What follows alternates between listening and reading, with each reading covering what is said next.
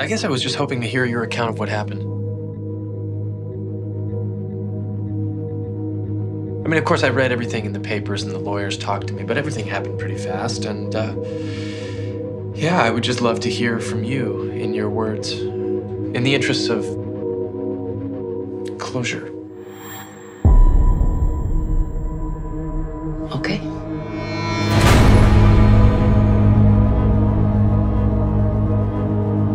I drank and drove. I was driving too fast and not paying attention, and um, I made a big mistake.